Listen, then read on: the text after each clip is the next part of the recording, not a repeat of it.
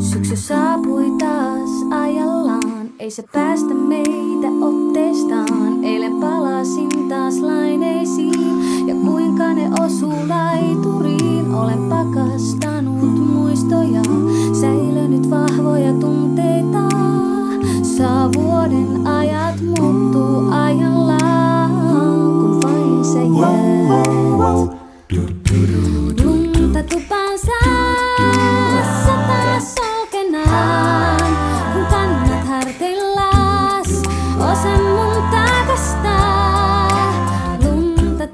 Lunta tupansa sataa solkenaan, ja lapset rakentaa lumiukon pihanta. Lumiukon pihanta.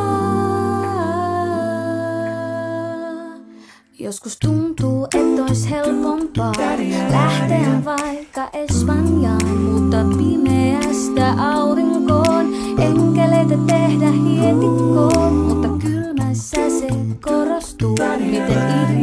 sydän käyttäytyy, saa vuoden